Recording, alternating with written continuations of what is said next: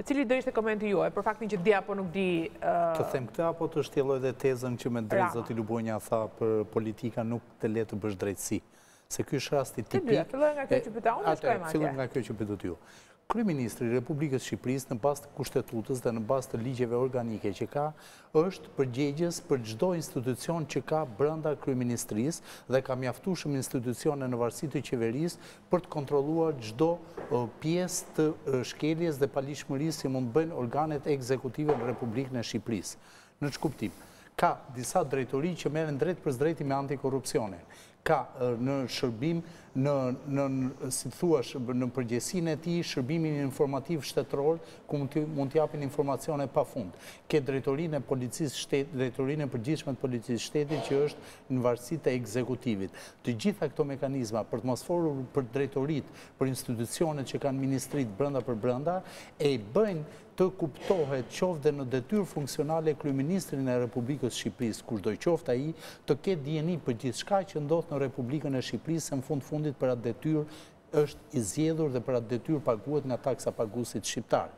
Në këtë kuptim, detyra e një kryeministri është të merret me gjithçka përsa i përket shkeljeve të ligjit apo dhe abuzimeve që mund të ndodhin jo vetëm për një për një veprimtari të tillë e cila patjetër kalon nëpërmjet qeverisë Po të thuash që kryeministria dhe kryeministri në përgjithësi nuk ka dijeni në rast se brenda kryeministrisë printohen shtatëmbëdhjetë VKM, miratohen me vendim qarkullues shtatëmbëdhjetë VKM, është komplet e ndryshme nga ajo të thuash që nuk ka dijeni.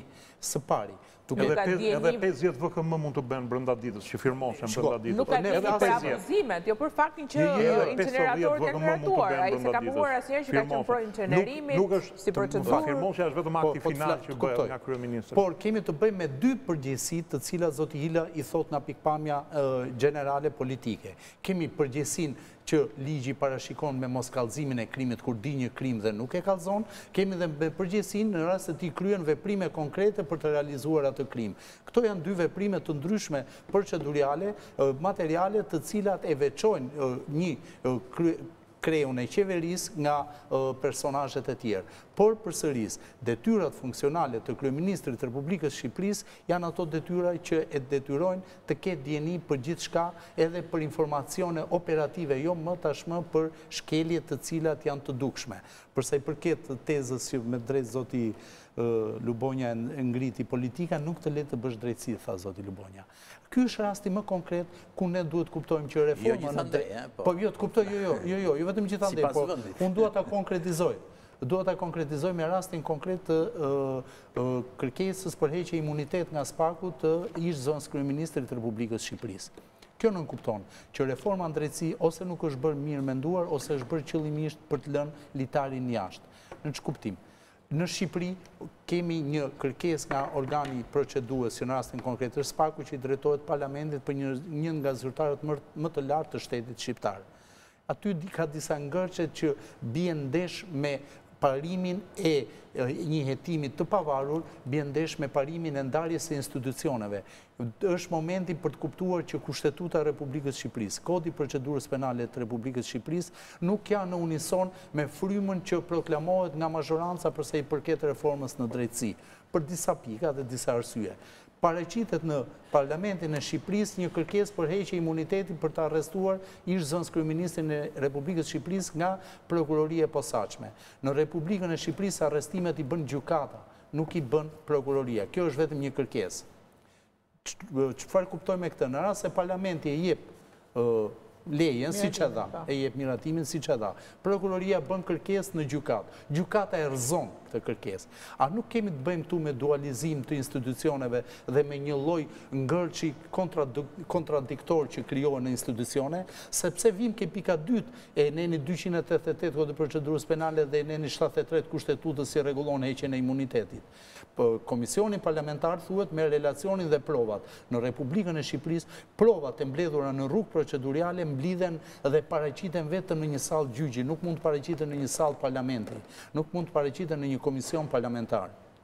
Dhe vijmë ke pika tjetër, nuk mund të vlerësojnë deputetët që janë thellësisht politikë, prova proceduriale për të vendosur mbi heqjen apo jo të imunitetit të një personi, sepse krijojmë edhe këtu një paralelizëm të pa të paqenë dhe një paralelizëm i cili është i dëmshëm për shtetin e së drejtës, pasi duke paraqitur provat në parlament, duke u shqyrtuar nga deputetët, ti zhbën rolin e gjykatës. Dhe gjykata është e vetmja jo në Republikën e Shqipërisë po dhe në gjithë botën që vlerëson provat dhe fajësinë e personit. Dhe. Si ndodh në vendet e tjera? Arreston prokuroria direkt? Nuk arreston dot prokuroria, në asnjë vend të botës, arreston vetëm gjykata. Prokuroria ka vetëm arrestin në flagrancë. Ne po flasim për heqjen e imunitetit për persona që janë me imunitet politik dhe që është një problem i madh për drejtësinë, sepse kemi një reformë në drejtësi. Po thua që ajo duhet të jetë automatike, që kërkesa ndaj parlamentit pa komisione, pa Për mua duhet ndërhyrë në kushtetutë, sepse nuk ka sens parimor, as fryma, as Do thosha se detajet e Kushtetutës nuk parashikojnë që një prokurori ta ndalojë Parlamenti. Çfarë do ndodhte në një prokurori të posaçme, kur paraqet një relacion dhe prova në një organ siç është Parlamenti që është thellësisht politik, paraqet prova sekrete po themi. Në SPAK-un sot të shkojmë njëri nga ne edhe lidhset e këpucëve të kontrollohen. Ndërkohë, që gjithë atë hetim aq sekret që paska bërë SPAK-u, ia dorëzon në dorë një institucioni që është thellësisht politik. Ku është sekreti hetimor këtu? Këtu bie, krijohet një kontradiktë shumë e madhe. Thashë, nuk janë në unison reforma e drejtësisë për të patur një luftë kundër korrupsionit nivelit të zyrtarëve të nivelit të lartë, me atë çka paraqet Kushtetuta dhe pjesë e Kodit të Procedurës Penale për heqjen e imunitetit. Po thua që kjo është e qëllimshme? Është e qëllimshme? Këtë nuk di t'ua them, është e paparashikuar për qëllim. Duhet rregulluar. Po jo se është bërë gabim. Gabim është. Është deri tash ku jemi nuk është rregulluar ajo pjesë. Po pra, nuk është rregulluar, po jo se ka një shkelje ligji që është pa. Jo, s'kemi me shkelje ligji. Kemi me shkelje parimesh. S'ka pas imunitet deputeti, ka qenë hequr dhe u vu. Jo, jo, jo, historia është kështu. Deputeti ka pas imunitet të plotë. Po pra, gjatë po, një mbas shumë vite më pas, jo, jo, shumë vite më parë u hoq imuniteti po, vetëm pra. për hetimin dhe për përgjimin e personave. Po, pra. Dhe mbeti po, jo, imuniteti, mbeti imuniteti politik për arresti, imuniteti për shkak të funksionit politik, për arrestimin, kontrollin personal dhe kontrollin e banesës. Në rast se do duam vërtet që fryma e ligjit të përçohet dhe deri në parlament, duhet të duhet hequr imuniteti totalisht që pastaj mos ndodhim në situata të tilla, Dhe se me politika të drejtë lejojë zoti Hila ngre drejtësinë? pyetjen, si iku ai njeri? Në rast se s'do kishte imunitet të plotë, atëherë mund të ishte arrestuar menjëherë pa patur nevojë për gjithë këto Pra duhen bërë lloj rregullime ligjore. procedurash Dhe të të politika të zgjatura. lejojë të bëjë drejtësi siç tha